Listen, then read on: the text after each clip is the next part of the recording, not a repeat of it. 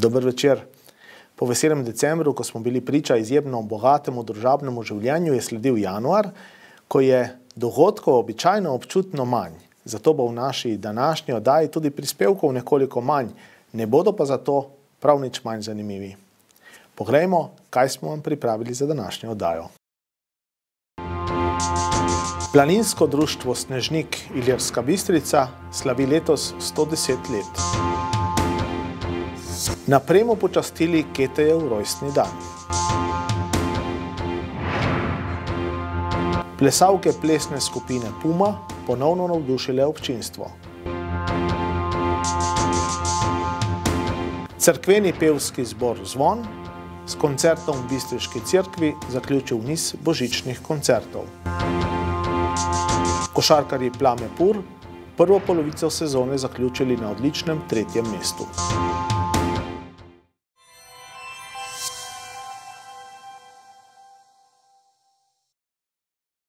Planinsko društvo Snežnik Iljerska Bistrica letos obeležuje 110 let svojega delovanja. Jubilejno leto so člani pričeli s fotografsko razstavo o gori, po kateri društvo nosi svoje ime. S tem pa obeležitve visokega jubileja še zdaleč ni konec. S fotografsko razstavo Istoka Snoja z naslovom Pogovori z goro se je pričelo letošnje leto v galeriji Doma na Vidmu.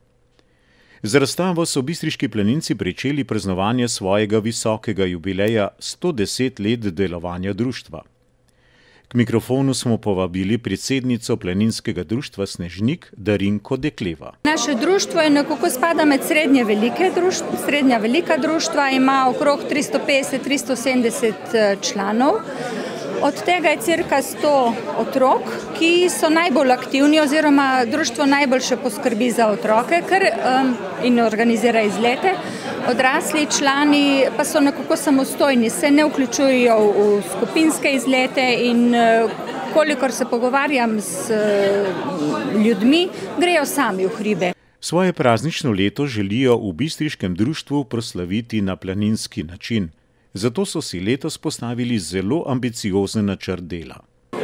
Želimo si, da bi moške člane poslali na kakšnega od štiri tisočaka v Alpah, ženske pa na kak damski tri tisočak in moram povedati, da je zanimanje zelo veliko. Štirinajstega maja pa načrtujemo en tak večji pohod, kjer bomo povabili člane planinske skupine Bazovica, kjer so naša najbolj močna skupina in aktivna. In planince iz MDO-ja, to pomeni meddruštvenega območnega odbora, se pravi od Postojne do, do um, Kopra. In nameravamo narediti pohod od Gomancov preko Snežnika in končamo na Sviščakih, kjer bo malo lepša, večja slovesnost, kjer bomo podelili priznanja in se poveselili, da smo planinci. Bistriško planinsko društvo ima v lasti planinski dom na Sviščakih in kočo na Snežniku. Oba objekta sta v dobrih rokah oskrbnikov. To leto 1. maja bo točno deset let, ker sem jaz in moja žena, ker smo oskrbnika gor. No in imamo kar precej obiska, moram reči, še posebej, če je vreme ta pravo, ne, pol je kar precej ljudi. Prihajajo pa planinci, seveda, najprej so tlele domačini z vseh treh dolin, bi jaz rekel, Bistrške, Loške, Pivške, teh je največ, ti so tudi več ali manj stalni. Pol imamo seveda planince iz cele Slovenije, precej je Hrvatov, posebno iz tega reškega območja, Kvarnerja pa Istre. In pol so pa že kar Italijani, to so predvsem ali so naši zamejci ali so pa prav italijanski državljani in ki tudi moram reči, nekateri celo redno prihajajo na Snežnik. Poleti pa pride tudi precej obiskovalcev iz drugih držav, iz širše Evrope, pa tudi iz, bom rekel, kar celega sveta. Imeli smo že Indonezijca, smo imeli Pakistance, Indijce, Američane, Kanadčane, z Južne Amerike, praktično z celega sveta, no. Neokrnjena narava in lepote Snežnika k sebi pritegnejo tudi marsikaterega fotografa. Tudi Iztok Snoj je bil med njimi. Kaj mu je uspelo ujeti v svojo fotografsko kamero, smo lahko videli na razstavi v galeriji doma na Vidmu. Snežnik me je vsekakor prevzel s svojo širino. Uh, enostavno, šele po kakšnem 10-15 obisku sem spoznal, koliko možnosti imam na njemu, koliko lahko različnih stvari doživim. Prav tu na Snežniku sem se naučil ne samo, da se narava odziva name, ampak da jaz to v sebi zaznam. Ko grem mimo nekega motiva, me enostavno pokliče, ozrem se in pogledam, kaj je tisto, kar me je poklicalo. Na te klice se s svojim fotoaparatom skrbno odziva in rezultat so fotografije, ki pri tem nastajajo. Da so te resnično vrhunske, se je prepričala množica obiskovalcev na otvoritvi razstave v Ilirski bistrici. Ilirsko-bistriško društvo diabetikov sodi med številčnejša društva v občini. Ker pa so tudi po svoji dejavnosti izjemno aktivni, smo jih pretekle dni obiskali z našo kamero. Poglejmo, kaj smo zabeležili. Sladkorna bolezen je v današnjem času zelo razširjena. Kljub temu pa o njej vemo premalo, zato se z njo ne znamo soočiti. Največkrat so nam pri tem v pomoč izkušnje tistih, ki so se z njo že srečali. V začetku sem živel oziroma obvladoval to zadevo bolj z dieto, predvsem pa z aktivnostmi, s hojo in balinanjem in tako naprej in tako naprej. Skratka, spoštoval sem navodila zdravnikov. S tem, da sem pa pred 11 leti prešel na inzulin, ki ga si dajem zjutraj in zvečer glede na stanje sladkorja v krvi, ko si izmerim najmanj trikrat na dan. To ni noben bav, če se kdo boji. Že 11 leto to delujem in sem imel samo dvakrat povprečje sladkorja več kot sedem, drugač pa med šest in sedem v ta čas. Po ocenah strokovnjakov je na območju občine Ljerska Bistrica okoli tisoč bolnikov, ki bolehajo za sladkorno boleznjo. Od tega jih je kar lepo število vključenih v društvo diabetikov. Trenutno nas je 350, od tega je 50 takih, ki niso diabetiki. Aktivnosti imamo precej, pomembne za zdravje in obvladovanje sladkorne bolezni so predvsem preventivna okrevanja, to je praviloma teden dni v zdraviliščih po Sloveniji, pa tudi na Hrvaškem smo bili. Imamo delavnice in predavanja doma, družabno in športno-rekreativno življenje in vključevanje, članice, ki tedensko telovadijo, veliko število balinark in balinarjev, preko 30, druženja, izleti in podobno. Ker je sladkorna bolezen zahrbtna bolezen, saj so njeni znaki na vzven opazni šele v pozni fazi, si v društvu prizadevajo javnost čim bolje informirati z vsem, kar je s to boleznijo povezano. Na podlagi povabila Zveze društva diabetikov Slovenije je bil narejen razpis vsem 41 društv diabetikov, ki jih imamo v Sloveniji, na katerega smo se z našega društva odzvali štirje. Poleg predsednice društva Andreje Rebec smo se udeležili teh usposabljanj tudi Marica Renko in Jasna Cimperman in seveda jaz moja malenkost. Vsi štirje v našem društvu smo to uspeli narediti. Prvič, prvi so to uspelo narediti 27, čeprav je veliko društev v Sloveniji in mislim, da smo bili najbolj pridni. V imenu nas štirih vabim vse diabetike, tudi tisti, ki hodijo postojno sežano, kopr in ne vem še vse kam, da se včlanijo v naše društvo. Povabil pa bi še vse, da se oglasijo v društvu diabetikov, ki je na Levstikovi ulici številka 5, to je poleg Bistriške cirkvice. Na oglasni deski bodo pa naslovi in telefoni vseh nas štirih, in verjemite, da smo pripravljeni in to brezplačno, zastojn, pomagati, svetovati. Vloga laičnih svetovalcev ni tolmačenje zdravstvenih izvidov ali nadomeščanje zdravniške pomoči. Bolj je namen, da nudimo oporo, psihosocialno oporo in nekako en optimistični pogled na življenje. Pomagamo pri svetovanju o zdravi prehrani mogoče, o upoštevanju priporočil, nasvetov zdravnikov. Spodbujamo sladkorne bolnike k aktivnostim, športnim, fizičnim, da povejo svoje težave, se z njimi pogovarjamo, jih poskušamo razumeti, jim dajemo v tem smislu oporo. To je naša naloga. Sladkorno bolezen je treba zelo resno obravnavati. Za bolnike je pomembna fizična aktivnost. Vodim vaje v okviru Društva diabetikov in sicer vaje za sprostitev in posebne energetske vaje Qigong, ki pripomorejo k lažjemu življenju, k bolj zdravemu življenju, k razmišljanju na bolj pozitiven način. Če bomo na pozitiven način razmišljali tudi ostali, bomo marsikatero težavo lažje prebrodili. Območna obrtna zbornica Iljerska Bistrica za svoje uporabnike med drugim izvaja tudi najrazličnejša izobraževanja.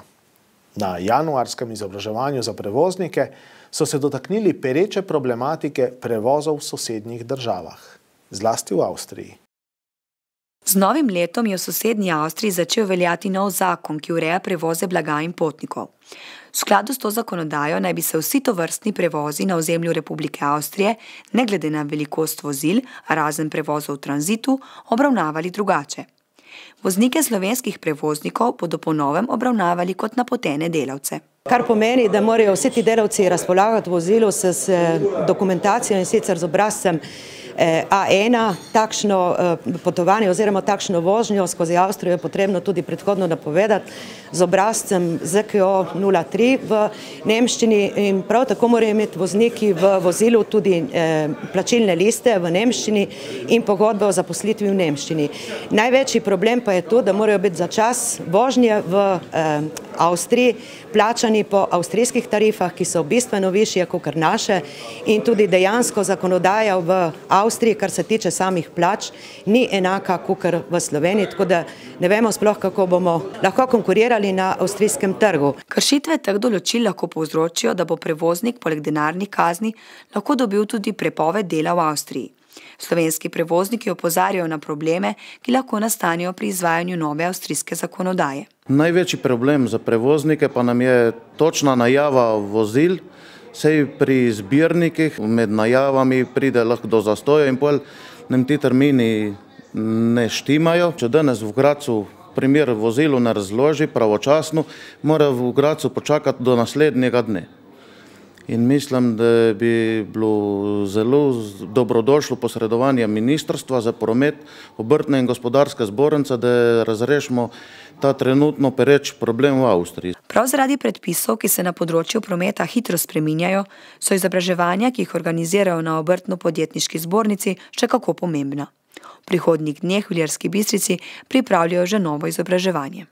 In bi ob tej priliki tudi še povabila, da pridete na izobraževanje meseca marca, ko se bodo določene stvari v zvezi z Avstrijo razjasnile, saj pravkar v Avstriji pripravljajo določene smernice na temo že prej omenjenega zakona.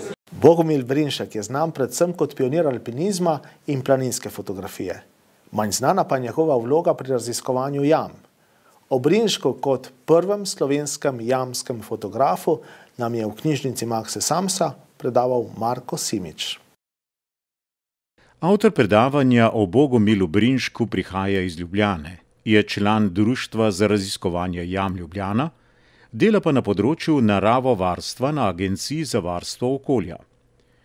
Brinška nam je tokrat predstavil spleti jamarstva in jamske fotografije. Fotoaparat, ki je Bogomila Brinška spremljal v gorah, je seboj vzel tudi v podzemlje in se v zgodovino zapisal kot prvi slovenski jamski fotograf. Marko Simič nas je s predavanjem vrnil v začetek 20. stoletja in nam predstavil takratno fotografsko tehniko. Brinšek je slikal na fotografski fotoaparat s ploščami. Plošča je krat petnajst centimetrov in s sabo je nosil eno škatlo plošč, to je bila ena kila pa pol samo plošč, ne, in to je bilo, mislim, da deset ali petnajst plošč. Toliko je bilo za recimo nesel s sabo in je moral res fajn razmisliti, preden je kaj pritisnil, ne danes kar, kar nekaj šklofamo, ne. In potem je to doma, v Šiški je imel eno sobico in noter je bila vojaška postelja, umivalnik in v tistem umivalniku on to razvijal in vsi njegovi drenovci so okoli stali in so gledali one kemikalije in so se čudili, kaj je nastajala fotografija. In ko so imeli enkrat ploščo, so potem polagali ploščo na papir, pa so presvetljevali in so tako delali iz vsake te plošče veliko kopij, ki so jih potem uporabljali tudi kot razglednice. Prav to je razlog, da so se Brinškove fotografije ohranile, saj so bile njegove fotografske plošče uničene v požaru. Ohranjene fotografije kažejo na izostren fotografski pogled in bogato tehnično znanje. Brinšek je v jame popeljal tudi skupino mladih alpinistov, ki si je nadela ime Drenovci. In potem je zadnja akcija, ko so šli v Karlovco na Cerkniškem polju in ko so jim v bistvu iz jame prišli, so si šli, da je vojna. Drenovci so bili po jamarskih raziskovalnih uspehih takrat v svetovnem vrhu. Tragična smrt šele 30-letnega Bogomila Brinška na srpskem bojišču leta 1914 je žal končala tudi raziskovalno obdobje Drenovcev.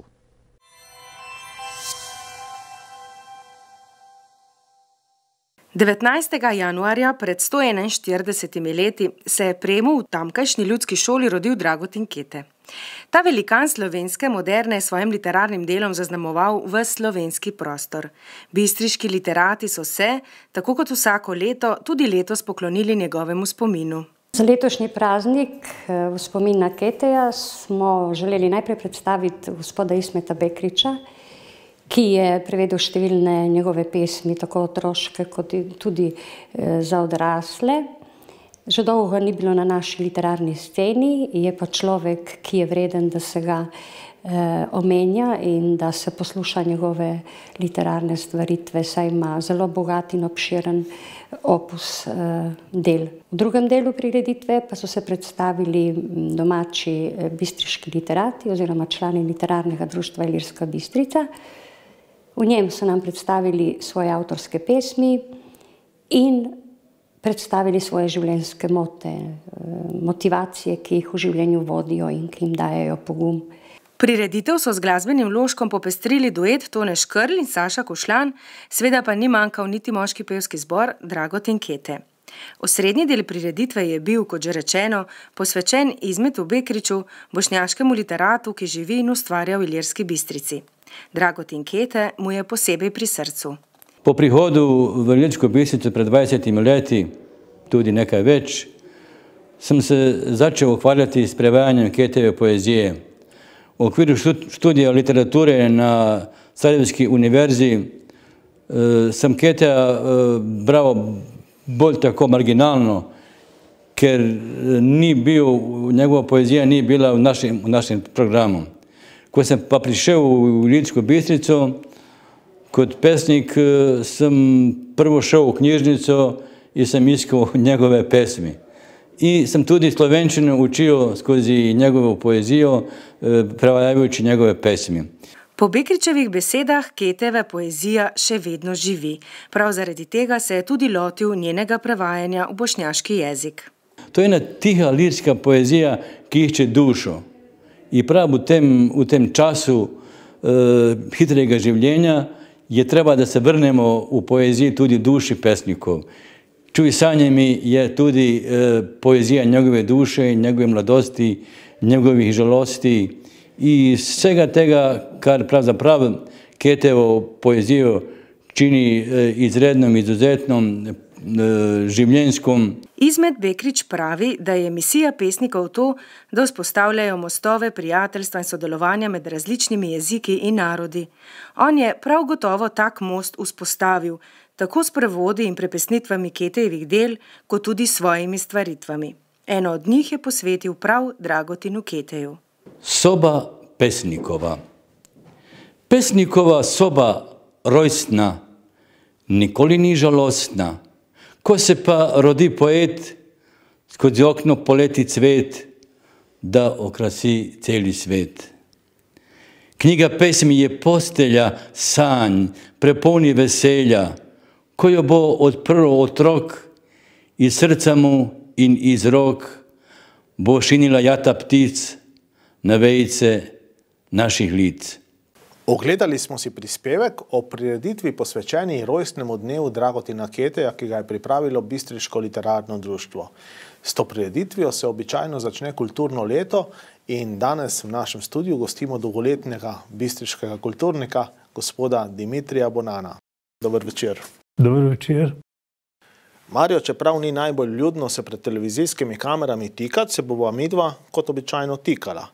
pa še ne bom imel tistih problemov s polovičnim vikanjem, ki mi včasih dela težave, tebi pa gre to blazno na živce. Morda za začetek, kako ti ocenjuješ uporabo slovenskega jezika v slovenskih, zlasti nacionalnih medijih?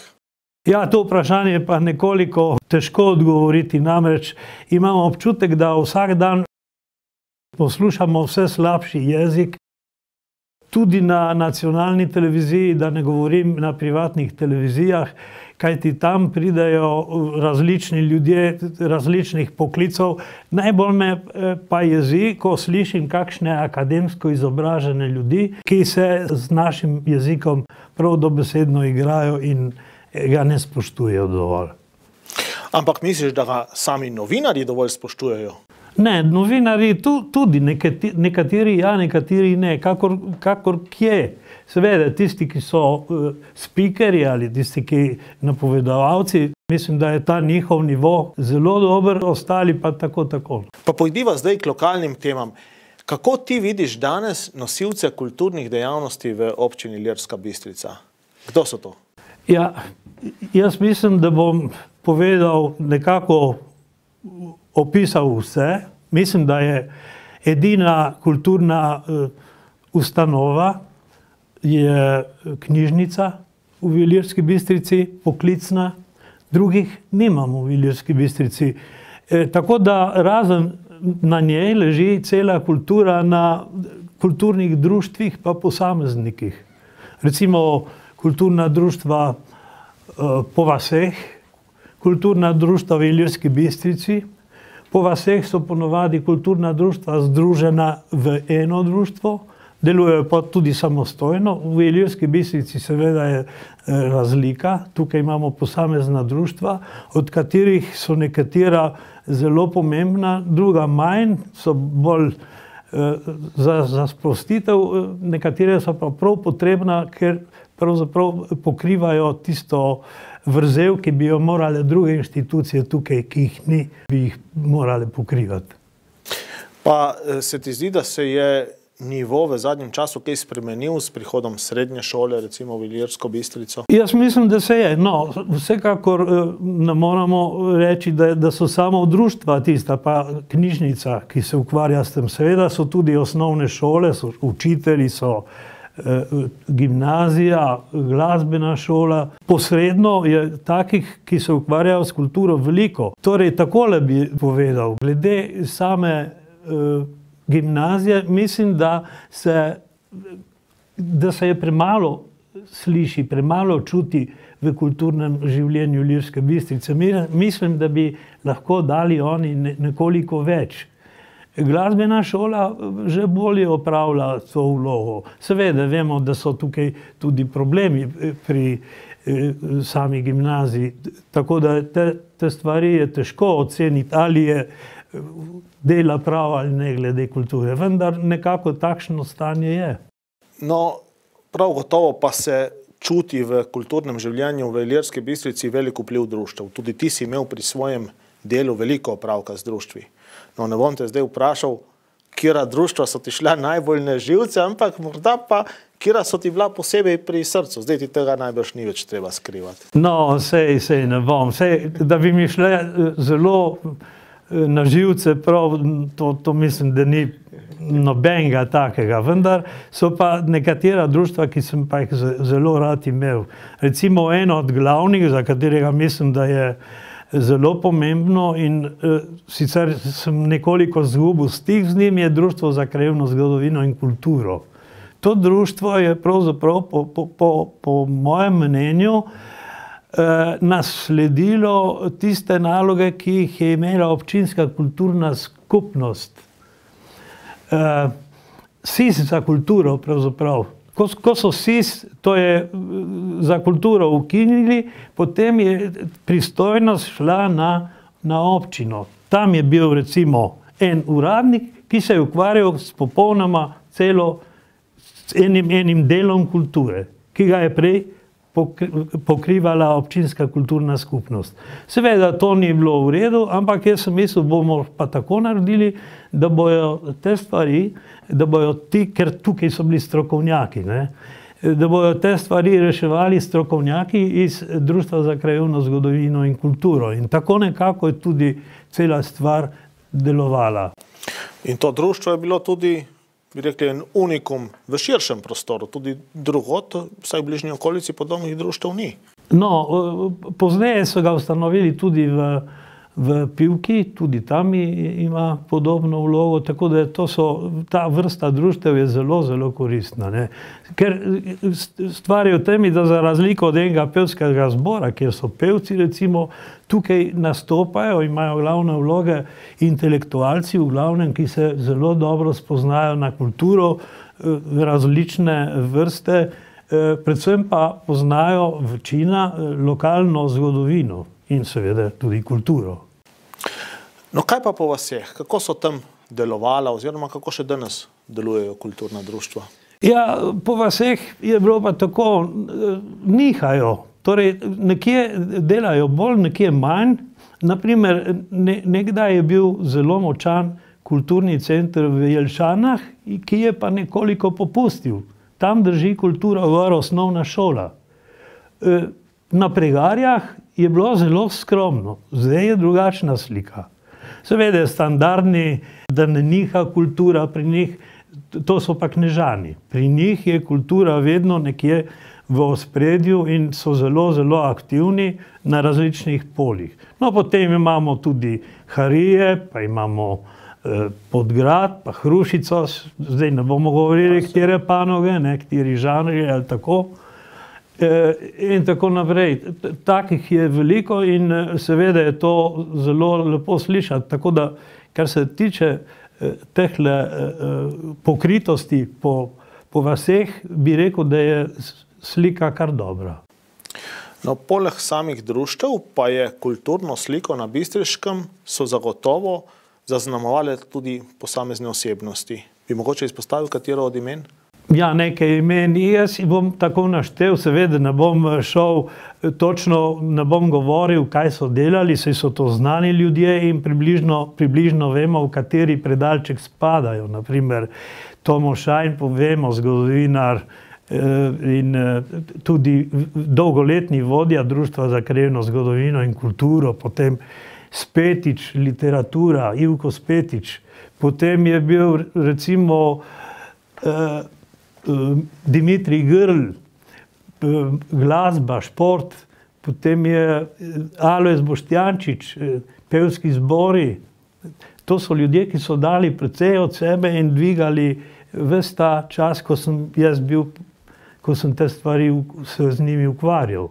No, potem je Saša Boštjančič, pa imamo zdaj Grgasovič, ki ste ga imeli pred kratkim tukaj, Grga. Ne?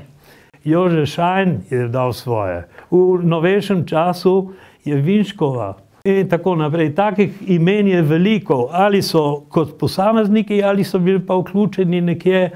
Eh, gospod Poklar, ne vem, če sem ga omenil, vsekakor arhi, eh, eh, arheologija. On je, on je izobrazil in povedal ljudem preko učiteljev in preko učencev, ogromno stvari o zgodovini, ki se pravzaprav ni nikjer tukaj slišala.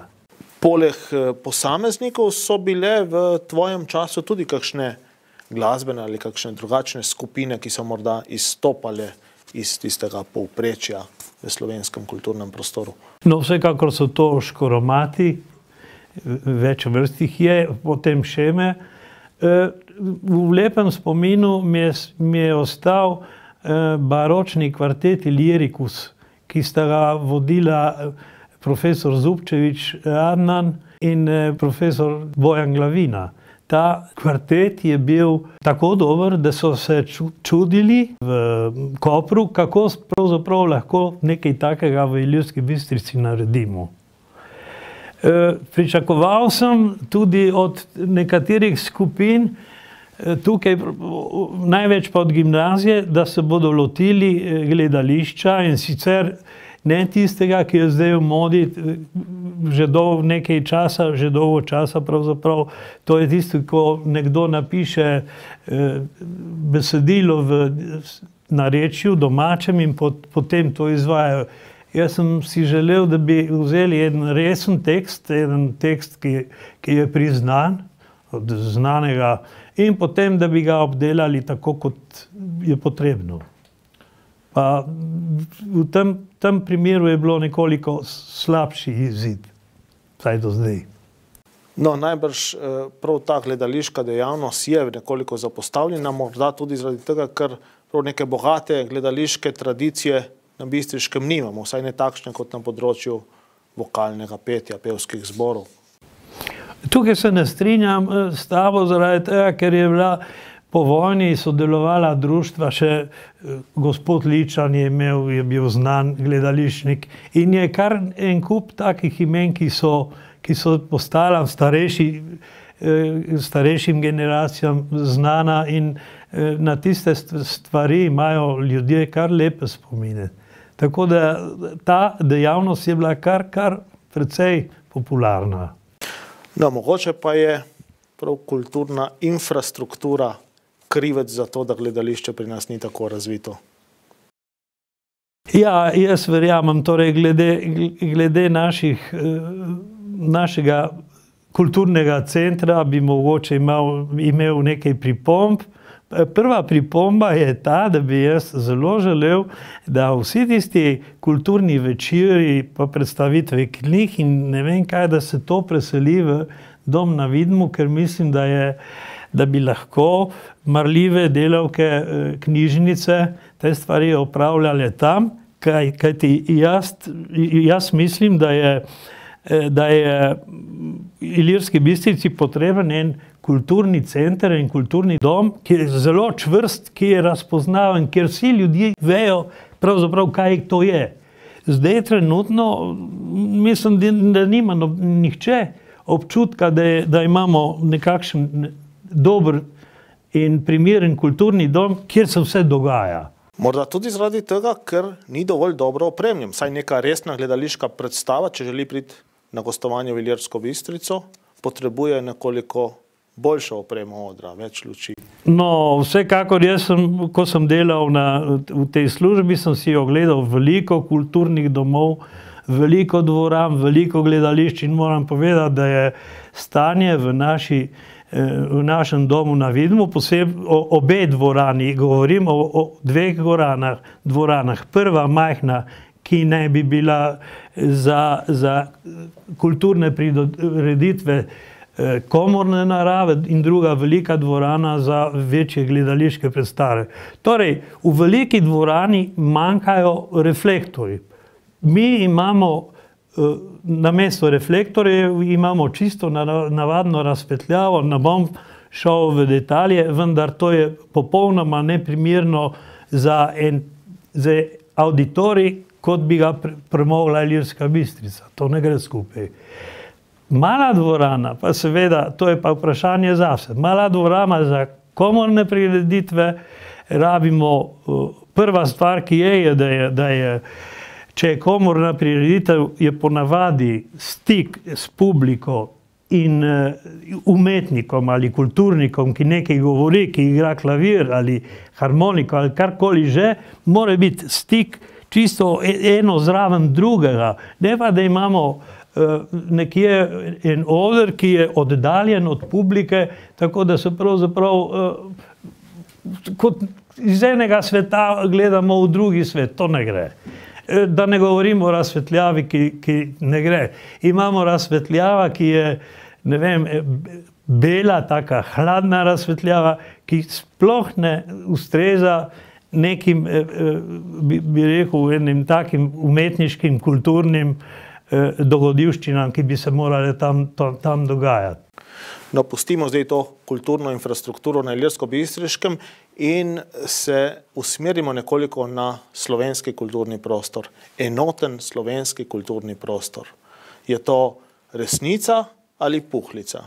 Zdi se, kot da je bil ta enotni slovenski kulturni prostor v času, ko so bile državne meje še bolj trdne, vsaj če pogledamo italijansko stran, nekoliko bolj prišel do izraza kot danes. Vsekakor to ni bila, vsaj jaz jo nisem smatral, da je puhlica in sem to stvar zares vzel. Torej, enoten slovenski kulturni prostor je bil že nekoliko realiziran s primorsko poje. Tam so se srečevali na, na oni strani meje, pa tudi tukaj zbori iz, iz slovenskega govornega območja in seveda je to bil že en del. No, druga stvar, ki sem jo jaz želel uh, nekako uvesti v, v, v naše življenje, je, je bil to, da bi nekako prikazal tržaško gledališče kot naše, naše matično gledališče in takrat smo imeli abonma, v gledališču v Trstu, ki je bil od začetka zelo, zelo uspešen. In smo hodili šestkrat, sedemkrat na leto gledati različne predstave v, v Trst z znanimi imeni, takratnimi. In bilo je zelo lepo, vendar počasi je za, začelo to gledališče nekako usihati. In takrat so se naši ljudje nekako uh, odločili, da ni več dobro, da imamo samo tam uh, gledališke predstave na ogled, ampak da bi morali si ogledati tudi še kaj drugega. No, takrat smo potem začeli uh, potovati po različnih gledališčih, tako da smo uvrstili tudi Reško gledališče, tam smo predvsem zaradi jezikovne barijere imeli, eh, organizirali ogled glasbenih prireditev, predvsem oper. No, poleg teh eh, gostovanj pri gledališču v Trstu, v Hrvatskem narodnem kazališču na reki, so se pomembne prireditve odvijale tudi v Iljerski bistrici. Kjer bi morda izpostavil? Prireditve, ja, gledališke ravno ne, vendar so bile druge. Mi smo nekako tradicionalno, vsekakor moram povedati o tej primorska poje, potem je naša pomlad, pa, pa premska srečanja, pa potem je bil tukaj uh, mesec kulture. Prem je bil prizorišče, ki je bil zelo hvaležno za take vrste prireditev. In se mi zdi, da je zdaj premo, nekoliko premalo izkoriščen za take stvari. No, ob koncu uh, tvojega delovanja pa ste začeli tudi z srečanje pihalnih orkestrov. Ja, srečanje pihalnih orkestrov, to je res. Ja, takrat smo tudi mi, ampak to je bilo srečanje kraških godb. In nekako kraševci niso želeli, da bi, da bi Ilirska bistrica eh, prišla zraven, vendar nekako je ta stvar, potem so videli, da je to koristno, tako da je takrat to zaživelo. Kako gre zdaj s temi stvarmi, ne vem. Bi pa rad povedal še eno drugo stvar. Glede eh, samega pihalnega orkestra, menim, da je to pihalni orkester, kot ga imajo mesta, je to mestni eh, pihalni orkester ali pa občinski pihalni orkester, vendar jaz sem vedno si želel, da bi imeli take vrste tudi pevski zbor. Be, mi imamo veliko pevskih zborov, ki, niso, ki so, so dobri, vendar vrhunskega nimamo. In to me je vedno bolelo, da, da, da pravzaprav eh, Iljerske bistrice nikakor ne moremo predstaviti na, na ta način, da po, pokažemo, da smo zelo dobri pevci. Tukaj, to, to me je bolelo, res. No, morda bi na tej točki počasi zaključili ta najmen pogovor o kulturi, pa za konec se ti zdi, da je naša bistriška kultura nasplošno v dobri kondiciji? Ja, zdaj, če uporabimo ta politični izraz, ki se zdaj pojavlja po televiziji, mislim, da, še kar, da je še kar dobra. Vse je veliko ljudi se ukvarja in če pogledam postojno in sežano, ki, ki, ki jo rad primerjam z nami, bi rekel, da kar dobro stojimo. Glede eh, same eh, kvalitete, glede številčnosti, mislim, glede same kvalitete, pa mislim, da je, bi se dalo tukaj marsikaj popraviti in da je bi bilo tudi potrebno. No, pa pojdiva za konec najnega pogovora še k tvojemu konjičku, k plesni glasbi. Vrsto poletnih sezon si s Feniksi preživel v opatiji. Bi nam morda zaupal kakšen tvoj spomin na tiste čase? Ja, začeli smo ob koncu 60-ih let, pred nami so bili v opatiji bratje Boštjančiči s svojo eh, skupino, ker so se rašli ali ne vem kako je bilo, je Saša Boštjančič prišel k nam, k Feniksom in tako smo mi tisto njihovo tradicijo dol nadaljevali, čeprav je direktor govoril, da so mu kolegi dol na, na, v opatiji stalno očitali, da ne bo imel nič publike, kar, ker pač tam igrajo neki neznanci, ne vem kaj, no nič posebnega. Ne. Vendar smo igrali kar, mislim, da je bilo šest sezon. Tako da imam jaz zelo lepe spomine na, na opatijo in tudi, tudi, če povem po pravici, žarn stil glasbe je bil, smo morali, morali smo igrati veliko, torej plesno glasbo, jasno, ne pa narodno zabavno glasbo, za katero mislim, da, je, da jo imamo tukaj nekoliko preveč. Namreč v Ilirski bistrici se je vedno igrala tudi drugačna vrsta glasbe, ne, ne pa samo narodno zabavno. To se meni ne zdi ravno v redu, ker smatram, da posebno plesna glasba mora, ni dovolj, da znaš polko pa valček plesati. Gre, gre tudi za kulturo tukaj. No, ti seveda svoje kitare še zdaleč nisi vrgal v kot in še zdaj rad na njo zabrenkaš. Kje te lahko tvoje oboževalke vidijo danes? ja, no, brenkam, jaz, jaz nisem dober kitarist. Imam funkcijo v tistem ansamblu, kjer zdaj igram. Ta ansambl se imenuje Lojze Bajc in eh, prijatelji. Ki seveda ne igra narodno zabavne glasbe. Ki igra veliko narodno zabavne, ampak tam smo različni eh, interesi so tam.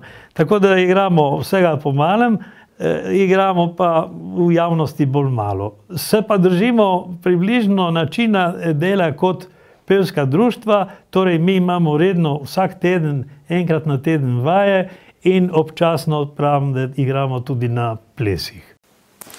Dimitri Mario Bonano, hvala lepa, ker si si vzel čas, da si z nami v začetku najbolj kulturnega meseca spregovoril o kulturi. Hvala, ker si bil gost Bistriških utrinkov. Hvala tebi.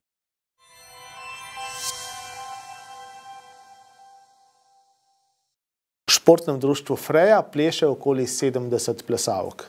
Plesna skupina Pume deluje v okviru tega društva. Že nekajkrat so nas mlade plesalke presenetile s svojimi nastopi in tudi tokrat so s plesno predstavo v Bistriški športni dvorani navdušile občinstvo. Tokrat so se Pume odločile, da uprizorijo plesno predstavo Veliki Gatsby. Jay Gatsby ima eno samo veliko željo. Ta želja je Daisy Faye Buchanan, njegova ljubezen iz mladosti. Zgodbo pripoveduje Daisyna sestrična Nikki Carraway, ki je na ameriški vzhod prišla, da bi se seznanila s trgovanjem z vrednostnimi papirji. Po naključju postane Gatsbyjeva soseda in zaupnica. Jay Gatsby v svoji ogromni vili prireja zabave za širni bogataški svet.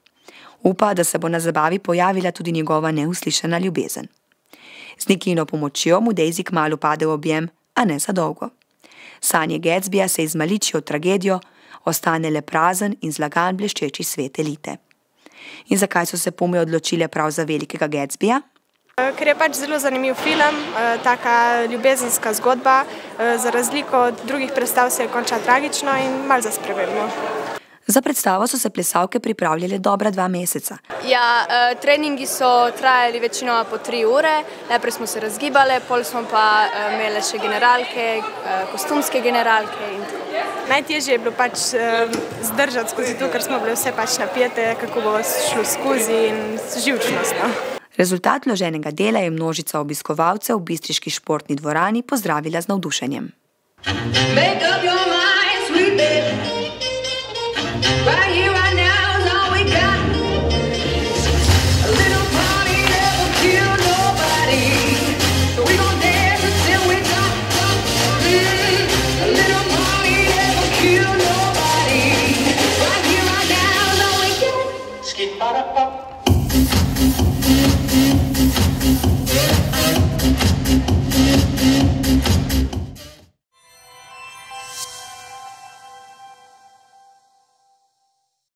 S koncertom, ki ga je sredi januarja pripravil crkveni mešani pevski zbor Zvon, se je zaključil niz božičnih koncertov po cerkvah na Iljersko-Bistriškem. Poglejmo, kako je bilo v Bistriški cerkvi svetega Julija. Večina božičnih koncertov se odvija v dneh okoli Božiča. Mešani pevski zbor Zvon iz Iljerske Bistrice pa že vrsto let svoj božični koncert pripravlja v januarju. Čeprav zbor domuje v Trnovski cerkvi svetega Petra, koncert tradicionalno prirejajo pri svetem Juriju. Današnji božični koncert je že 16. po vrsti, odkar ga organizira cerkveni mešani pevski zbor Zvon. In za danes smo pripravili oziroma predstavili so se nam vse tri župnijske skupine, ki delujejo v župniji Iljerska Bistrica. To je naš zbor, zbor Zvonček, naš podmladek, otroci in pa mladinski bend, ki ga vodi kaplan Niko Čuk. Vedno pa med se povabimo še kakšno bistriško glasbeno skupino in pa tujo izven občine skupino, tako da letos smo med se povabili ljudske hrušiške fante, ki so nam s koledniškimi pesmimi predstavili Božič in pa tujo skupino, to so fantovska pevska skupina Matici iz Vodic pri Ljubljani. Organizatorji stremijo k temu, da je program pester in zanimiv, zato vsako leto skrbno izbirajo svoje goste.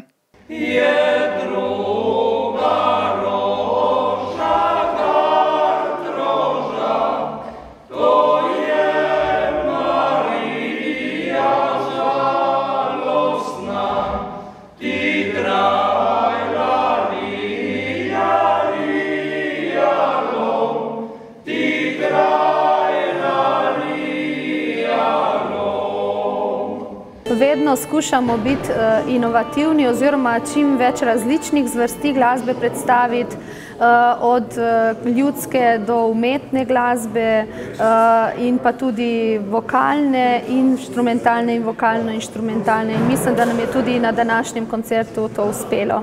To so se prepričali obiskovalci koncerta, ki po nastopih niso ostali ravnodušni. Napolnjena bistriška cerkev je z bučnim aplavzom pospremila vse nastopajoče. Ob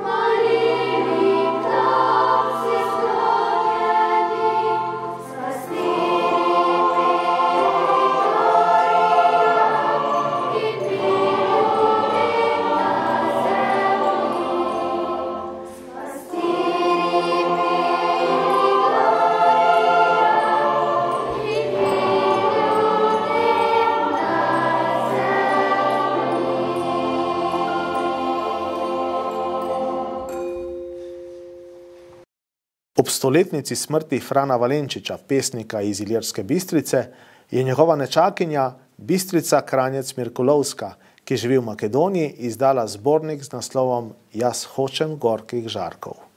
V preteklih dneh je bila njegova predstavitev v Bistriški knjižnici.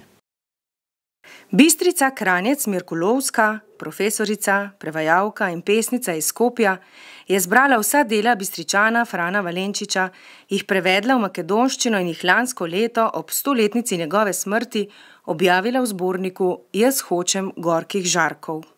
Fran Valenčič poteka iz družine Valenčič Kranjec, torej iz Iljerske Bistrice. Rojen je prav na mestu knjižnice Maksa Samsa, nekoč v Šketovi hiši oziroma v hiši Valenčičevih in Kranjčevih. Imel je kar nekaj bratov in sester, njegova mati pa je bila poznana podjetnica Josipina, ki je svoje sinove poslala na študij na Dunaj in tudi Fran Valenčič je tako kot brat Marko Kranjec doštudiral na Dunaju in bil predstavnik izobražencev takratne družbe. Fran Valenčič je pesnik, poznan v začetku stoletja, med tisoč devetsto prvim in tisoč devetsto petim letom je objavljal v številnih literarnih zbornikih, aktualnih takrat, kot so Ljubljanski zvon, Danica. Bil je prijatelj in sodobnik Ivana Cankarja, zgledoval pa se je po Murnu, Keteju in tudi v tem slogu pisal svojo poezijo, torej predvsem ljubezensko, izpovedno. Avtorica zbornika o Franu Valenčiču je njegova nečakinja. Bistrica Mirkulovska je pesnica, prevajalka, eh, bila je profesorica na Filološki fakulteti v Skopju in je v bistvu glavna ambasadorka slovenskega jezika v Makedoniji.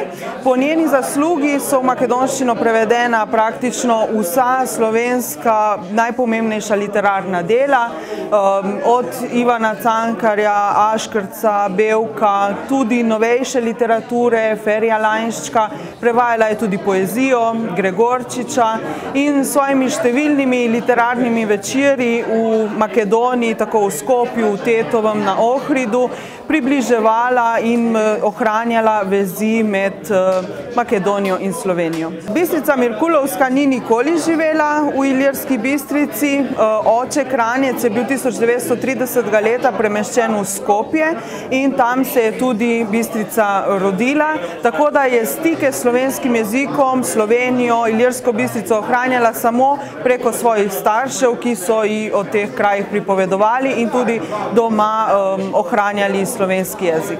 Knjiga, ki jo je Tjaša Puklar predstavila v knjižnici Maxe Samsa, je zbornik, v katerem je zajeto vse delo Frana Valenčiča, poleg tega pa v delu najdemo še marsikaj.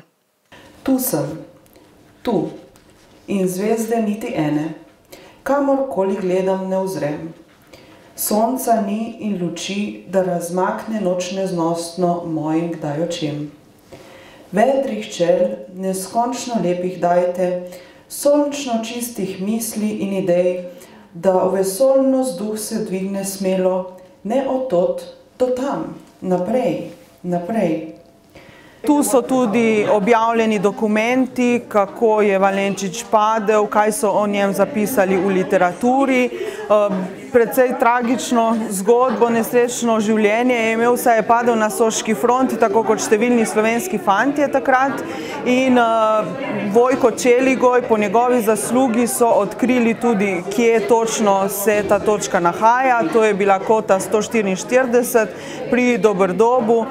Tam je kot mlad fant umrl in uh, tam so mu postavili eno manjše obeležje. Morda mu bomo nekega dne obeležje postavili tudi v rodni Ilirski bistrici, saj si ga pesnik, ki je bil rojen prav v hiši, kjer danes stoji bistriška knjižnica, nedvomno zasluži. Knjižnica Maxe Samsa je sredi januarja gostila razstavo knjig upokojenega zdravnika, psihoterapeuta in duhovnega učitelja, dr. Antona Krajcerja, ki je v Ilirski bistrici dobro poznan, njegove knjige pa zaradi svoje posebej zanimive vsebine lepo sprejete. Ob izidu njegove devete knjige je na pobudo Mojce Gantar, terapeutke iz Ilirske bistrice, nastala razstava knjig, namen katere je bil občinstvu približati vsebino in pomen krajcarjevih del.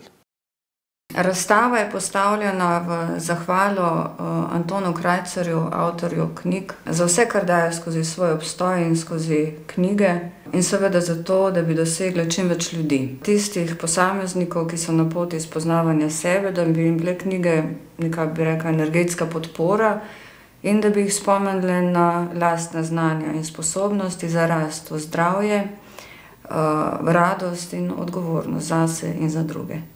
V ospredje vsega postavljenega človeka in iz svojega spoznanja pravi, da je vsak izmed nas nepojemljivo sposoben, inteligenten, živ proces znanja. Vedno podarja, da je človeka že zdavne prekril um, ki ga poskuša skozi primere osvetliti iz vseh zornih kotov. Opozarja, kako naš um negativno vpliva na zdravje in nasploh, kako smo se z njim identificirali in kako z nami vlada. Krajcereve knjige zajemajo celoten obstoj in so energijsko izjemno močne, tako kot tudi same naslovnice knjig, ki imajo tudi velik simbolni pomen. Vsaka naslovnica povzema vsebino celotne knjige. Uvijek me je jako okupirala ena misel, kako napraviti in što dati na naslovnici određene knjige. Pa uvijek sam pokušao to sintetizirati da bi u jednom simbolu zapravo se moglo izgovoriti ono što je sadržaj skoro cijele knjige. Prva knjiga koja je recimo Put krivi putovi uma, simbolika je zapravo potpunih svih energija, znači ima pet prirodnih, ima ono vertikalno kad bi se uzele osnovne tri boje i je svemirska. Svemirska kao obrnuto Znači, svemirska je u biti, makar možemo i ovdje govoriti da se radi o materiji ili antimateriji, znači uvijek je ona suprotnost, ali je to ravnoteža u suprotnosti. I kad se ovo, to je još otvoren put, to je jedan otvoren gdje, bimo rekli, ljudski ovaj čovjek e, sa svojim i umom i sa svojim e, životom, duhom i svješćom je još otvoren za rast, za jedan rast, znači čišćenje gdje ovoga nema zatvorenog sistema. I vidite, ovoga, tako da kad bi se to gledalo, znači te sve prirodne energije su više kao horizontalne, duhovne su, bimo rekli, ovoga, su vertikalne i svemirska koja i sve to poveže, a sve u jednoj cijelini. To je devet osnovnih energija. Dr. Anton Krajcer je že dvakrat predaval v Ilirski bistrici, kjer je bil zaradi svoje pojavnosti in tematike zelo številčno obiskan. Njegova namera je dati skozi svoje knjige pričevanja o svojih spoznanjih o človeku, življenju in celotnem obstoju. Polne so primerov posameznikov na poti čiščenja od lastnega uma, tudi anegdot, igrivosti, pikrosti, predvsem pa so polne znanja, resnice ter spoznanj iz vseh področji znanosti.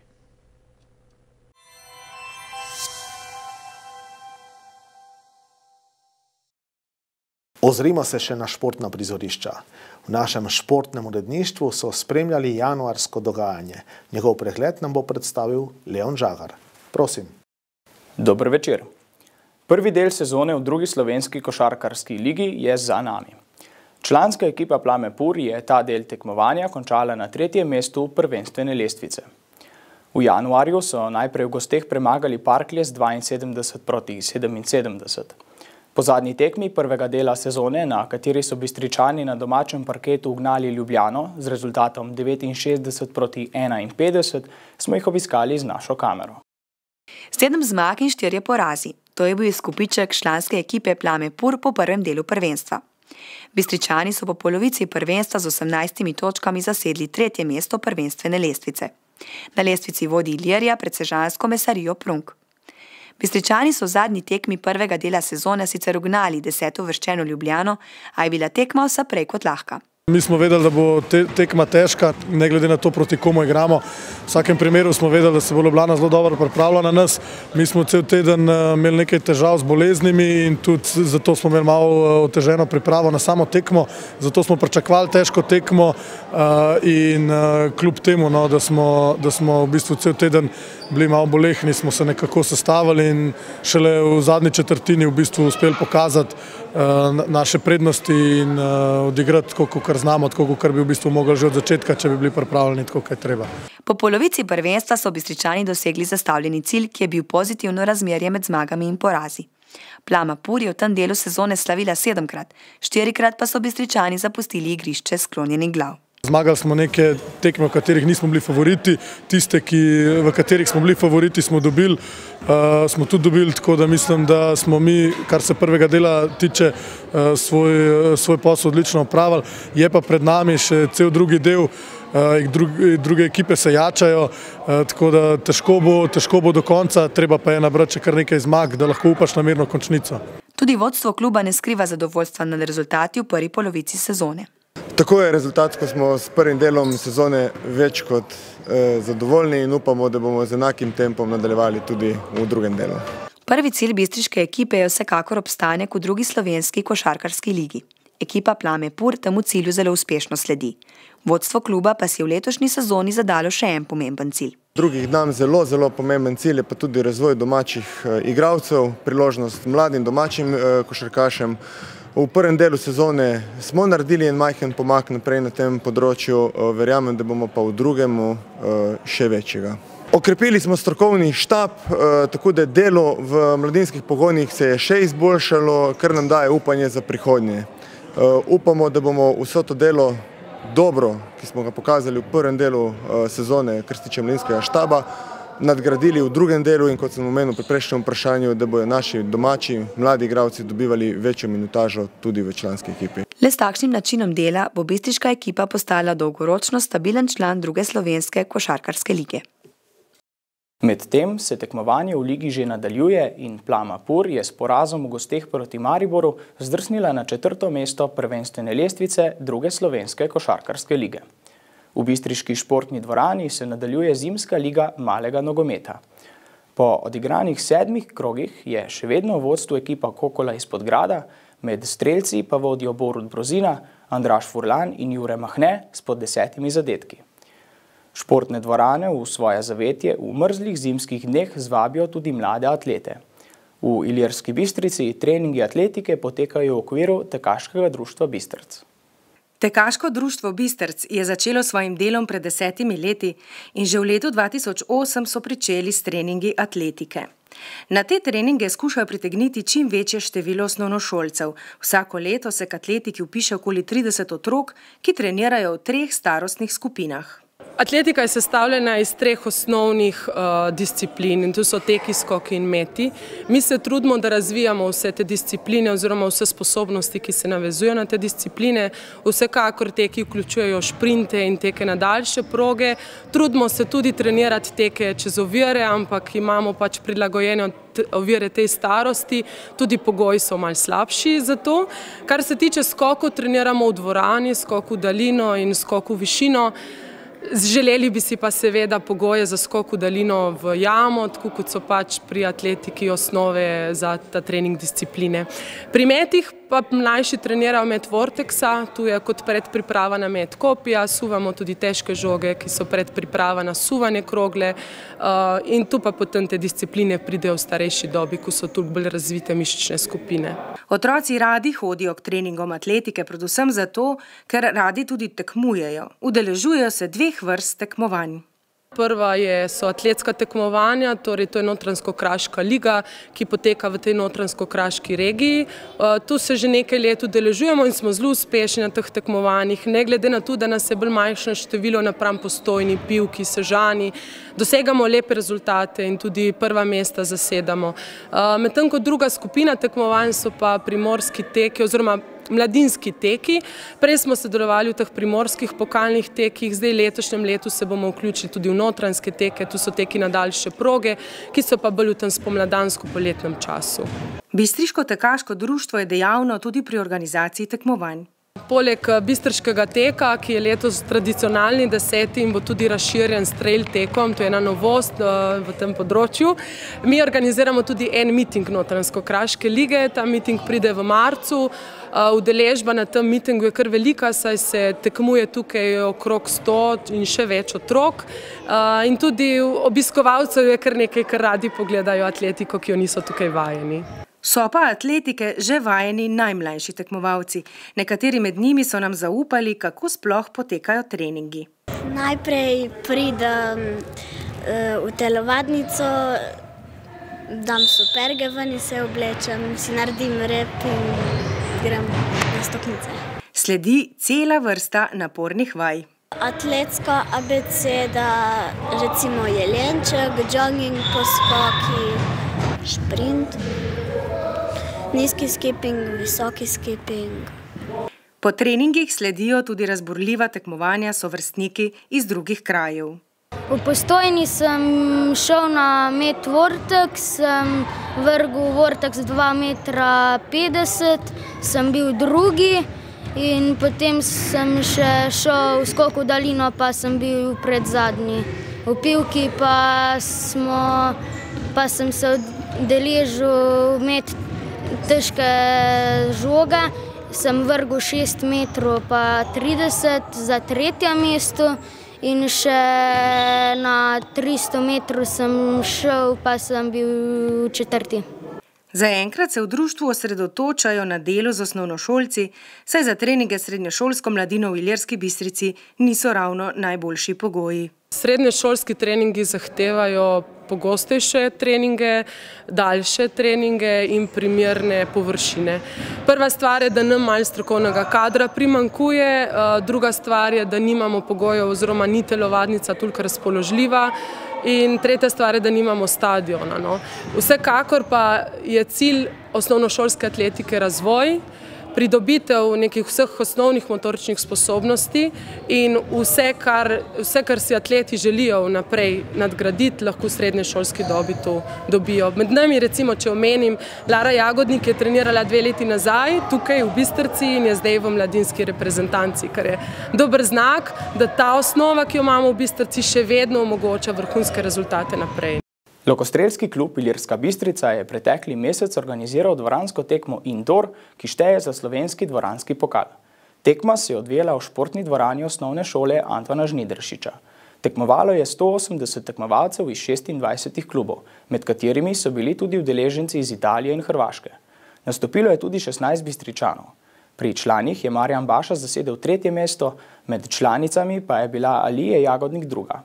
Med kadetinjami je slavila Tjaša Vičič, Aleksija Rolih pa je bila tretja. Pri dečkih je bil Jan Bizjak tretji, pri mlajših deklicah pa Maruša Bizjak druga. Tudi strelci strelskega društva 4. juni Iljerska Bistrica so v preteklih dneh organizirali strelsko tekmo vseh kategorij v Primorsko-Notransko-Kraški ligi. Tekmovanje z zračno puško in zračno pištolo se je odvijalo na strelišču v ulici 4. armije. Najvidnejši rezultati domačih strelcev V kategoriji mlajši pionirji so bistričani zasedli ekipno drugo mesto, med posamezniki pa je bil Luka Frleš tretji. Med pionirji je bil Žan Pugel drugi, med kadeti pa Vladimir Urh enajsti. Med veterani so bili bistričani ekipno drugi, med posamezniki pa je slavil Stanislav Mahne. Tomislav Kosanovič pa je bil tretji. Strelci strelskega društva 4. juni z eno ekipo uspešno tekmujejo v drugi državni ligi Zahod – Tu so dobili v organizacijo zaključni turnir, ki bo 19. marca v Iljerski Bistrici. Toliko za danes iz športnega uredištva, vidimo se ponovno čez mesec dni.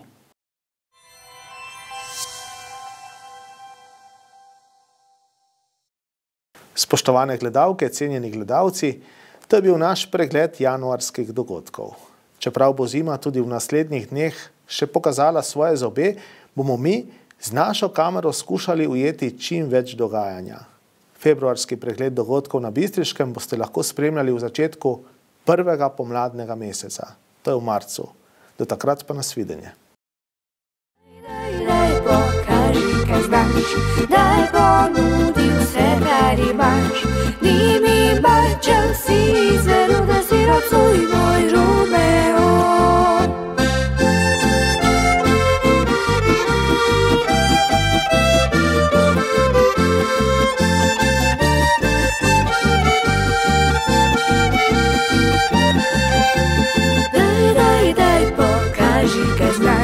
Daj ponudi se, kar imaš. Ti mi mačo si izveru da si razvoj moj Romeo. Ti mi mačo si izveru da si razvoj moj Romeo.